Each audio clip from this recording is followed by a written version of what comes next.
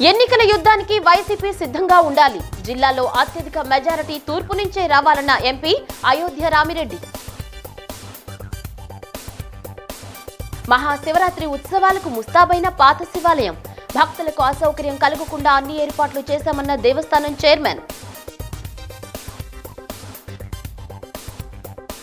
పవన్ కళ్యాణ్తో సమావేశమైన చంద్రబాబు. రెండో విడత జాబితా ఢిల్లీ పరిణామాలపై విస్తృత చర్చ. ఏపీ యునైటెడ్ ఫ్రంట్ తరపున ఉమ్మడిగా పోటీ. నూట డెబ్బై ఐదు నియోజకవర్గాల్లో అభ్యర్థులను బరిలోకి దింపుతామని కన్వీనర్ లక్ష్మీనారాయణ వెల్లడి. ఉత్తరాంధ్ర ఓట్లు కొల్లగొట్టేందుకు మరో దొంగ నాటకానికి జగన్ తెరతీశారు. సిపిఐ నేత రామకృష్ణ ధ్వజం.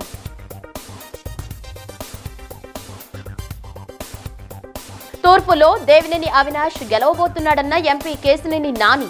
గద్దే రామ్మోహన్ అసమర్థుడని వ్యాఖ్య.